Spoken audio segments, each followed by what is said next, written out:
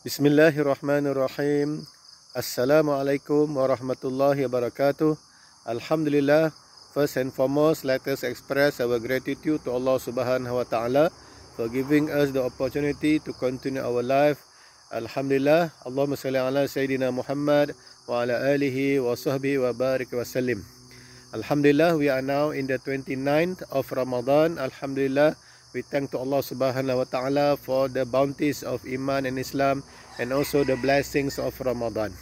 And Ramadan and management for 29th, I would like to talk about the performance measurement and controlling. Yeah, brothers and sisters, Ramadan is a platform for us to perform our obligatory fasting because fasting is in the pillars of Islam. So by completing uh, the 30 days of fasting in the month of Ramadan, we have fulfilled the pillars of Islam.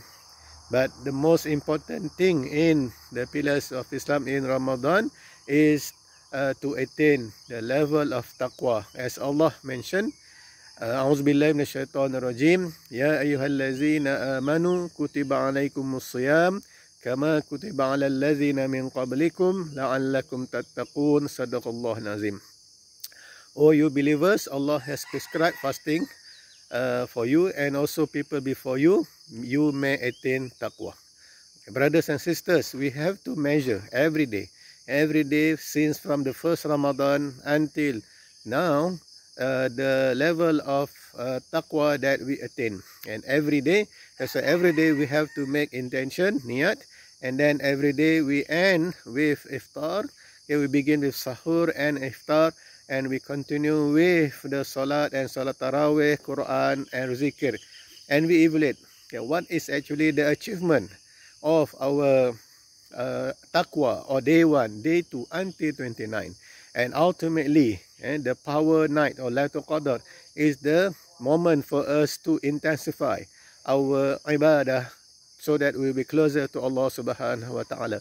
Okay, brothers and sisters, at the end of the day, we wanted to get things done with efficiency and effective, effectiveness. And our existence in, in this world is to achieve the ultimate um, purpose, which is to worship Allah Subhanahu Wa Taala. And therefore, we have to make sure that we are in the right track, yeah, in the right track. And of course, we are exposed to a lot of weaknesses and also um, inadequacies. But we have to ask Allah Subhanahu Wa Taala to help us to attain the level of taqwa and also to attain the ultimate purpose of our creation. May Allah bless all of us with, with that. Wabillahi taufiq. Assalamualaikum warahmatullahi wabarakatuh.